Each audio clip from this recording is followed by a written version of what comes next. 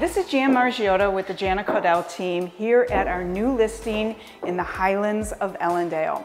This two-year-old custom-built home features three beds, three baths, and over 2,300 square feet of finished living area. So give us a call today for your private showing.